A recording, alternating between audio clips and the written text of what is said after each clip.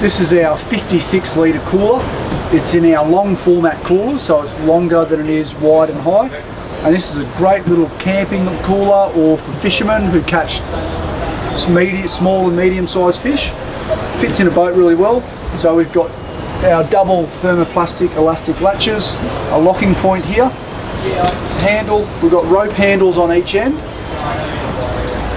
and then three hinges mounted on the back. Here, so these are screwed with 316 stainless screws and plastic welded. And then on the underside, we've got skids for moving it around. And then inside, you see they're a nice size. That long format can fit fish and also great for camping or fitting in the back of a car or a station wagon and then both our two and our four size gel packs will fit inside here. So you want roughly one two of these or one of these per 24 hours use for this size cooler. That's our 56 litre Icey Tek cooler